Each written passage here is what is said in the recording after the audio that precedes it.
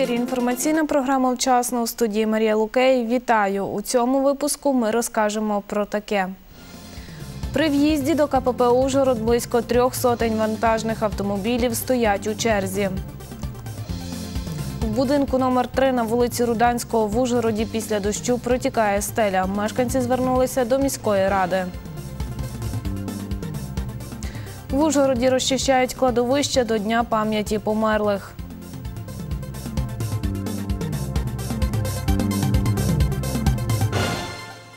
При в'їзді до КПП «Ужгород» близько трьох сотень вантажних автомобілів стоять у черзі. Це перевізники, які не змогли перетнути українсько-польський кордон у Львівській та Волинській областях. Про це розповів начальник митного посту «Ужгород» Василь Ігнатко. Деталі розкаже Олександр Курта. Вантажні автомобілі стоять у черзі на об'їзній дорозі по декілька днів. Начальник митного посту Ужгород Василь Ігнатко каже, наразі в українських перевізників відсутні дозвільні документи на переміщення вантажних транспортних засобів територією Польщі. Ті транспортні засоби, які мали виїжджати з митної території України в зоні діяльності Львівської, Волинської митниці, перенаправляються в зону діяльності е, Закарпатської митниці, враховуючи те, що е, зараз словацькі дозвільні документи в наявності і вони вільно видаються словацькою стороною, то їх можна вільно придбати. То українські перевізники е, перенаправили всі свої транспортні засоби в зону діяльності е, саме митного посту Ужгород. За словами Василя Ігнатка, близько 40% перевізників із Закарпаття, решта з інших областей України. День восьмий. Вісім, так? Вісім днів А ви звідки сам? Житомира. Вперше на цьому переході і реально ну, ситуація плачевна.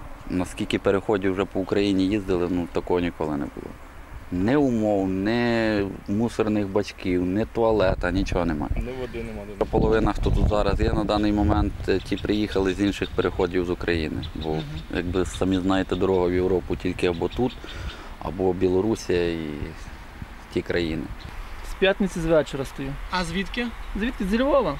Ні туалету нема, ні душу нема, ні якусь магазинчику піти щось собі купити. Ну, щось таке, скажімо, потребність нема, вже буде можна щось пішло собі було купити, так не кочуєш ти в машині. У вівторок вранці за межами пункту пропуску при виїзді з митної території України зафіксували близько 300 автомобілів. Враховуючи те, що е, особовим складом митного посту оформляється за добу е, 170-190 транспортних засобів, то ця черга приблизно е, може бути знята за два, ну, за 2-3 доби. Мешканці будинку номер 3 на вулиці Руданського в Ужгороді звернулися у міську раду з проханням відремонтувати дах. Про це розповіла голова ОСББ Тереза Гедеш. За її словами, покрівля протікає. Хто та коли відремонтує дах, дізнавалася Мирослава Жабей. І тут натягую, і там далі. І оця стінка по ній тече, тут вже нічого не підставиш, нічого. Тут підлогу розібрав, бо двері відкрити не можна було. Потріскані стіни та пліснява. Так після дощу виглядає помешкання Бориса Свіда. У цій квартирі на п'ятому поверсі чоловік з родиною живе майже 40 років. За його словами, протікати дах над його помешканням почав 7 років тому. А саме гірше, коли зимою сніг нападає, в усі щілини замерзне, а днем е, наша ж погода яка.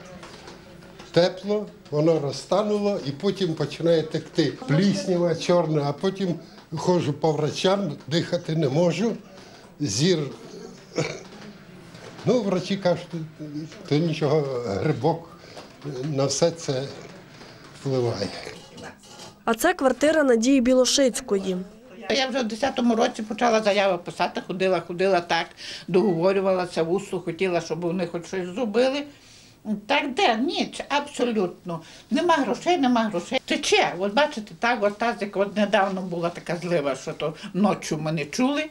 І як потекло все геть зовсім, ну отак от постійно ставимо тазики, то аж туди гірлянди до цього. І воно тече так, от що жарниць набирається по півтазика.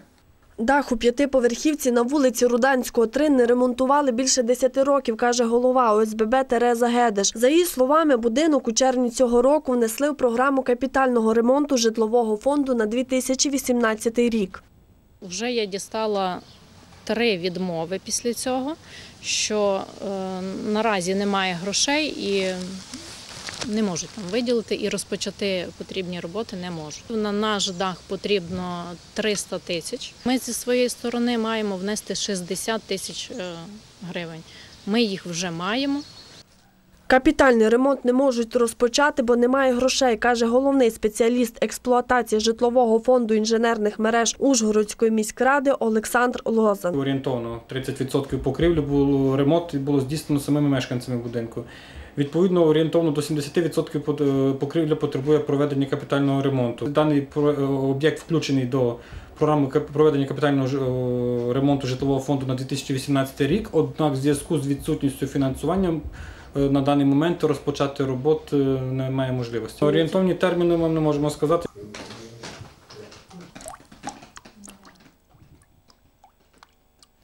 Причини смерті 12-річного хлопця з села Страбичово визначатиме спеціальна комісія, яку створили в обласній дитячій лікарні у Мукачеві. До її складу входять представники адміністрації лікарні, завідувачі відділень, головна медсестра та епідеміолог. Про це розповів головний лікар дитячої лікарні Роман Шніцер. Зокрема, комісія оцінить якість надання медичних послуг, стан померлого при поступленні в лікарню, призначення лікування на амбулаторному та стаціонарному рівнях. Також лікарі визначатимуть, чи був хлопець вакцинованим, ким і коли проводилося щеплення. Висновки передадуть Міністерству охорони здоров'я. Нагадаю, помер хлопець 27 жовтня в обласній дитячій лікарні у Мукачеві. Ймовірна причина смерті – ускладнення від кору.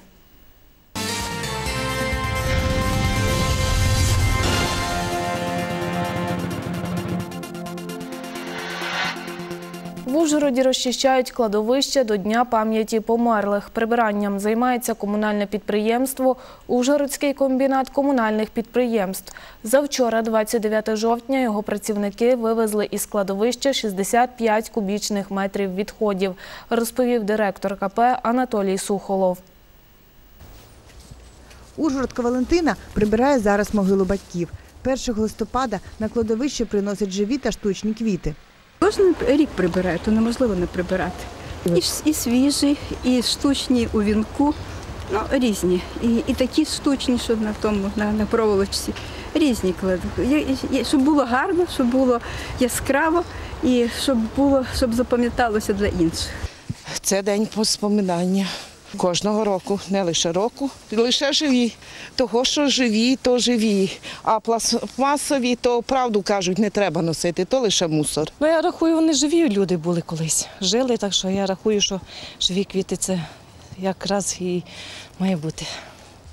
Греко-католицьке духовенство просить вірників не нести вироби з пластику та поліетилену на кладовище, розповів священник Владислав Ігнатишин. Штучні якісь такі матеріали, вони отруюють середовище. Ну, а оскільки кладовище це священне місце, його також не вартує отруювати. Якщо йдеться про живі квіти, якісь пластикові, е, я орієнтуюся у цінах, майже та сама ціна.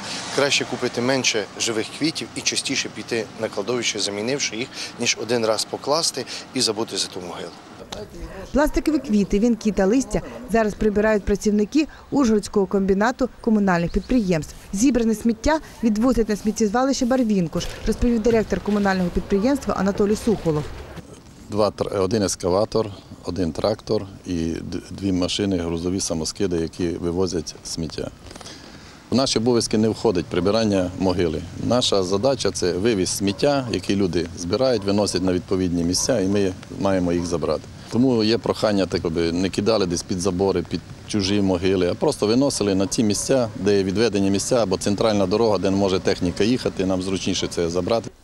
Після дня пам'яті померлих працівники комунального підприємства продовжать прибирання. Працюватимуть до 5 листопада. Меморіал загиблим воїнам АТО відкриють 1 листопада в Ужгороді. Він знаходиться на пагорбі слави.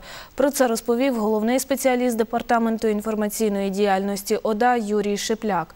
Проект меморіалу обрали колегіально в жовтні 2016 року. Автор проекту переможця закарпатський скульптор Василь Олашин. Цього року Роботи зі встановлення скульптурної композиції були завершені.